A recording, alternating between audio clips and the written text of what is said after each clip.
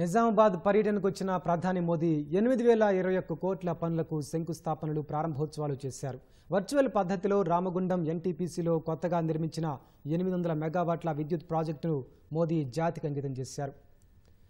ఎనిమిది వందల మెగావాట్లలో ఆరు వందల ఎనభై మెగావాట్ల కరెంటును రాష్ట్రం వినియోగించుకోనుంది. విద్యుత్ ఆరోగ్య రైల్వే ప్రాజెక్టులకు మోదీ శంకుస్థాపన చేశారు. పదమూడు వందల అరవై కోట్ల రూపాయలతో నాలుగు వందల తొంభై మూడు బస్తీ దవాఖానాలు క్రిటికల్ కేర్ సెంటర్లను ప్రధాని ప్రారంభించారు. రాష్ట్ర వ్యాప్తంగా ఇరవై జిల్లా కేంద్రాల్లో ఉన్న యాభై పడకల ఆసుపత్రుల్లో క్రిటికల్ కేర్ బ్లాకులను నిర్మించనున్నారు. మనోహరాబాద్ సిద్దిపేట కొత్త రైల్వే లైన్ను ప్రధాని వర్చువల్ పద్ధతిలో ప్రారంభించారు. ధర్మాబాద్ మనోహరాబాద్ కొత్త లైన్ విద్యుదీకరణ పనులు మహబూబ్ నగర్ కర్నూలు కొత్త లైన్ విద్యుదీకరణ పనుల్ని ప్రారంభించారు.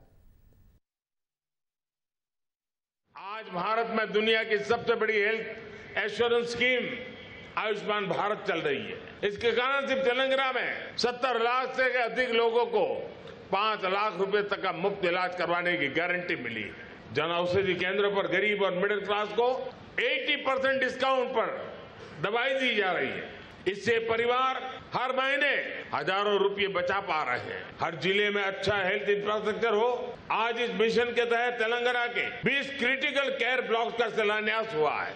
इन ब्लॉक्स को ऐसे बनाया जाएगा कि इसमें dedicated isolation wards oxygen supply infection prevention and control की पूरी व्यवस्था हो। तेलंगाना में स्वास्थ्य सुविधाएँ बढ़ाने के लिए पाँच हज़ार से अधिक Ayushman Bharat health and wellness centre भी काम कर रहे हैं। कोरोना वैश्विक महामारी के दौरान तेलंगाना में लगभग 50 बड़े पीएसए ऑक्सीजन प्लांट लगाए गए, जिसमें लोगों का जीवन बचाने में बहुत मदद मिली।